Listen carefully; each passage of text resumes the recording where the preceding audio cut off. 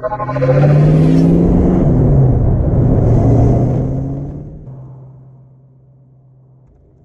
up guys, my name is Andy. In this video, I wanna go in and I'm gonna readjust the valve lash on my motor. And what I've got is a later model 302 that we punched out to a 347.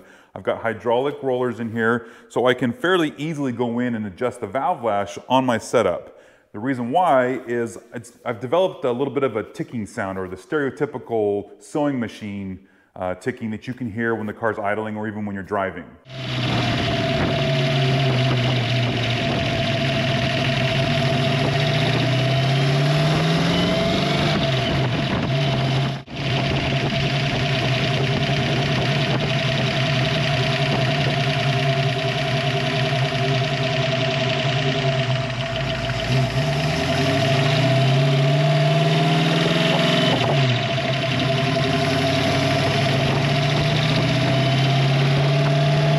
Take care of that, I wanna go in, I'm gonna just tighten up the valve lash on each one of these and we'll go through each step and I'll show you how to do it. And uh, let's go ahead and dive right in.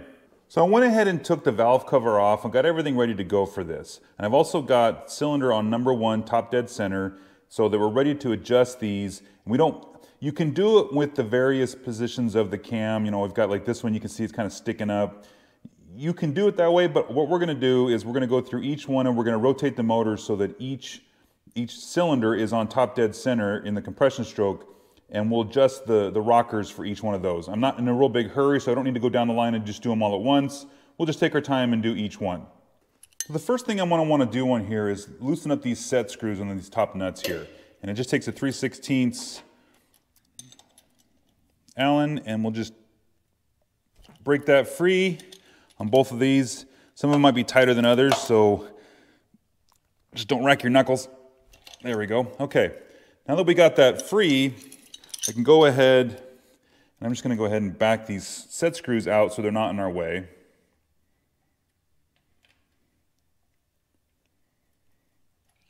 And now I want to loosen up, oh, see that was fairly easy.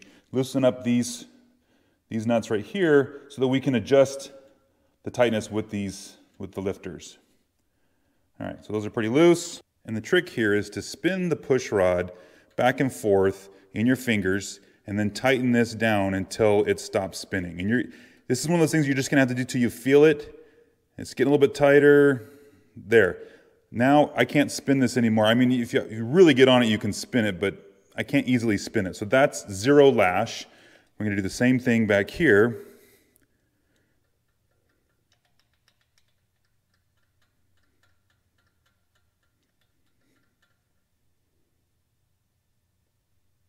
There, that's zero lash. Now to set this, now that we're at zero lash, we want to set it, I'm going to go three quarters of a turn past zero. Some people like to do quarter, half, three quarters, one. Everybody has a different idea of where they want theirs. I spoke to my engine builder about this and he sets them to one half turn past zero.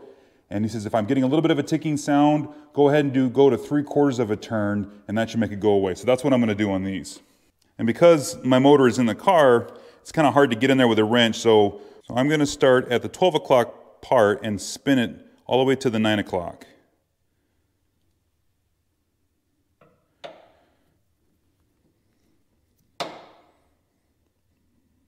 There, and I know you can't see the handle, but I went all the way around three quarters of a turn. And now that's set that from zero lash to three quarters of a turn past zero. And I'm going to do that on all of them, but right now I'm going to just focus on these two. So again, same thing on this one. Go half, and then there's three quarters. Okay, so that's set. Now I want to go in and I want to retighten the set screw on here. Just go ahead and run this all the way to the bottom on both of them. There we go.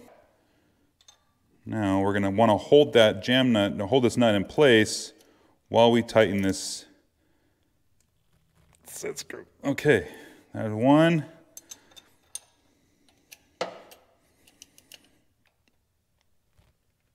And that's two. Great. So now cylinder number one is done, and you do the same thing for all the remaining seven cylinders in the same exact path. But how do we get to the next cylinder in the firing order?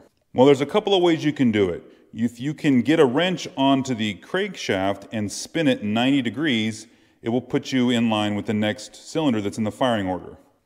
Or you can do what I've done here as I, if you take the distributor cap off, I marked on the distributor cap, these little Sharpie marks, where each one of the spark plugs are.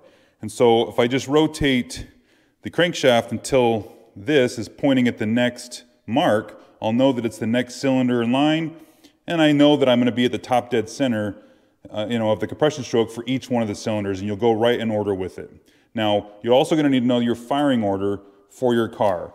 This is the 351 Windsor firing order, I think is what it's called, the, the, the formal term, the, the Windsor firing order on my motor. That's not the same firing order for other Ford motors, particularly the one that came in this car has a different firing order. So you're gonna want to know your firing order for the motor that you have. In my case, cylinder number three is the next one in order. So when I rotate the crank, there. Now, this is pointed to the next Sharpie mark, and I know that cylinder number three for my motor is ready to go. So I'm coming over to cylinder number three.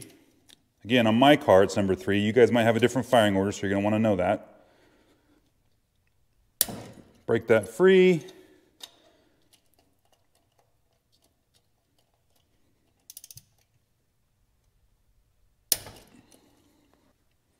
We'll just loosen these up. These set screws. And we can loosen these guys. Oh yeah, this is pretty easy. Okay, that's loose, that's loose. Again, same as before. It's kind of hard to show on camera, but uh, I'm gonna spin these until, there, that's zero lash. There, zero lash. I can't spin the push rods anymore, and this is tight, just finger enough, finger tight, that's zero lash. Now remember, I wanna go three quarters of a turn past zero. Okay, sitting on there. And you also make sure you don't have the socket resting on the rocker arm or anything like that because you don't want to push anything more on here. You just want to adjust the nut. Okay, so we're gonna go, there's half, and then another quarter. That's three quarters of a turn past zero. Um, this one's gonna be a little harder to do. Gonna have to do it down here. So I have to do quarter turns at a time because of trying to get to everything. So one quarter, two quarters, there we go, three quarters, uh, three quarter turn past zero lash. Now we want to go ahead and lock these down. We'll just go ahead and spin them down all the way till they bottom out.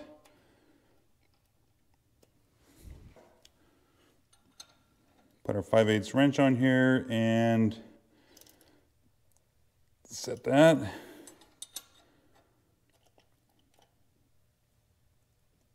There we go, and set that. Now, number three is done. And again, you just follow your, your firing order until you get all eight cylinders.